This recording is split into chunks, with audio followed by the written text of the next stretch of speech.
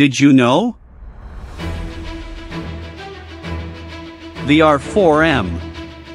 It also known by the nickname Orkan due to its distinctive smoke trail when fired, was a folding fin air-to-air rocket used by the Luftwaffe at the end of World War II.